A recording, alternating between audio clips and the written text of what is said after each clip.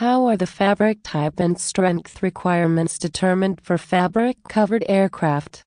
Answer is The original manufacturer determines the fabric type, and the strength requirements are a function of the never exceed speed and wing loading.